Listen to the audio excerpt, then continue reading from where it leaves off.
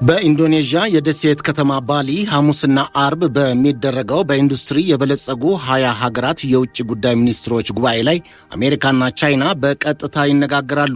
በጋራና በተናጠል ጥቅሞቻቸው ዙሪያም ይደራደራሉ ተብሏል። የአሜሪካው ውጭ ጉዳይ ሚኒስትር አንቶኒ ብሊንከንና የቻይናው አቻቸው ውጭ ጉዳይ ሚኒስትር ዋንግ የሚያደርጉት ውይይት ወይም ውዝግብ በጉጉት እየተጠበቀ ነው። ይህ የጂ ትዌንቲ የውጭ ጉዳይ ሚኒስትሮች ጉባኤ የታቀደው ቀደም ሲል በሉክሰምበርግ የአሜሪካና የቻይና ከፍተኛ የኢኮኖሚና የዲፕሎማሲ ባለስልጣናት የማለሳለሻና የማቀራረቢያ ውይይት ካደረጉ በኋላ የታቀደ እንደሆነ ዛሬ የአሜሪካ የውጭ ጉዳይ መስሪያ ቤት ገልጿል። አሜሪካ ቻይና የዩክሬንና ሩሲያን ግጭት ጨምሮ በርካታ የውጭ ጉዳይ መስመሮቿ ላይ የቤጂንግን ድጋፍ ትፈልጋለች። ቻይና በበኩሏ የኢንዱስትሪ ምርቶቿ ያለምንም የታሪፍ ጫና በአሜሪካ ገበያዎች እንዲንቀሳቀሱ ትፈልጋለች። የሆነ ሆኖ በበርካታ ጉዳዮች ዙሪያ አሁን አሁን ከትብብራቸው ይልቅ ልዩነትና ግጭቶቻቸው እየበዛ እንደመጣ ታዛቢዎች ይናገራሉ። ቻይና የሩሲያና የዩክሬን ግጭት ሁለቱ ሀገሮች በራሳቸው እንዲፈቱት መተው እንጂ የፖለቲካ ጣልቃ ገብነትና አልፎ ተርፎም እሳት እያቀበሉ ግጭቱን ማፋፋም አይገባም ትላለች። ዋሽንግተን በበኩሏ ዩክሬን ተወራለች በምትለው ግጭት ሩሲያን ለማንበርከክ ቻይናን ጨምሮ ከሩቅም ከቅርብም ከድሃውም ከባለጸጋውም ሀገር ድጋፍና እገዛ እያሰባሰበች ትገኛለች። ፕሬዚደንት ጆ ባይደን ቻይና የምትፈልገውን ለፋብሪካ ምርቶቿ የታሪፍ ጫናውን በማንሳት የአሜሪካንን ገበያ ለቤጂንግ ለመክፈት እያቅማሙ ናቸው ነው የተባለው። የታሪፍ ነፃ መንገዱ ቢከፈትም ቻይና በብዙ የአሜሪካ የውጭ ፖሊሲዋ ከጎኗ ልትቆም እንደምትችል እርግጠኛ አይደሉም። ቢሆን ኖሮ ከኢኮኖሚው ፖለቲካው ስለሚበልጥባቸው የቻይናን ፍላጎት ለመፈጸም ወደኋላ ባላሉም ነበር ይላሉ ታዛቢዎች።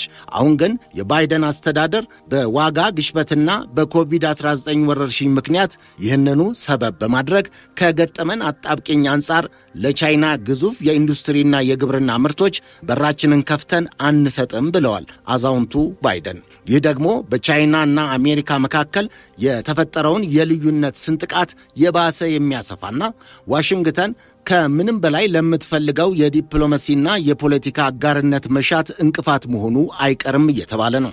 የአሜሪካው ፕሬዝዳንት ነጩ ቤተ መንግሥት ዛሬ በሰጠው መግለጫ በባይደን የቻይና ምርቶች ላይ የተጣለው የታሪፍ ጫና ይቀየራል ወይም ይለወጣል የሚል እምነት የለንም ግን በመጪዎቹ ሳምንታት ፕሬዚደንት ባይደንና ፕሬዚዳንት ሺ ጂንፒንግ ተቀራርበው ይነጋገራሉ ብሏል። ዋሽንግተን ፖስት እንዳለው የአሁኑ የብሊንከንና የዋንግ ስብሰባ በጥቅምት ወር ከተካሄደው የሮም የጂ 20 ስብሰባ በኋላ ሁለተኛው ነው። የዩክሬን አስከፊ ሁኔታ ላይ ብሊንከን ዋንግን ያግባባሉ ተብሎ ይጠበቃል። ታዛቢዎች እንደሚሉት በዚሁ የባሊ ደሴት የበለጸጉ ሀገሮች የሚኒስትሮች ጉባኤ ላይ ከቻይና ጠብ የሚል ነገር ይገኛል ተብሎ አይጠበቅም።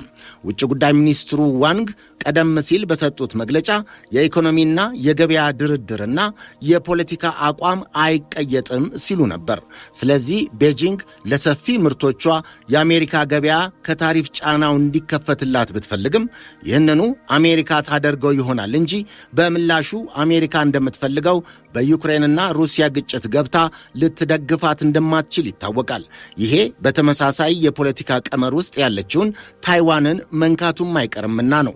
የአሜሪካ ከፍተኛ የጦር አለቃ የሆኑት ጀነራል ሜሌይ ቀደም ሲል እንዳሉት ቻይና ታይዋን ላይ ጥቃት መሰንዘሯ የማይታበል ሐቅ ነው።